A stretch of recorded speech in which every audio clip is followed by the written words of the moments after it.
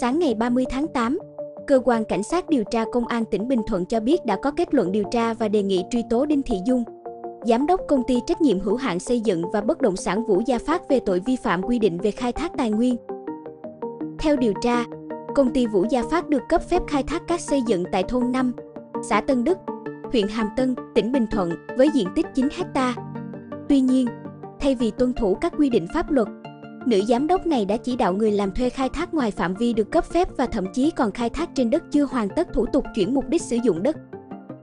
Các sau khi khai thác trái phép được công ty này tập kết, chuẩn bị bán ra thị trường nhằm thu lợi bất chính.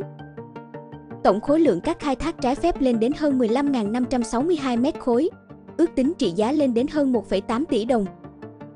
Hành vi khai thác trái phép của bà Dung không chỉ xâm phạm nghiêm trọng đến nguồn tài nguyên khoáng sản mà còn gây ra thiệt hại đối với môi trường,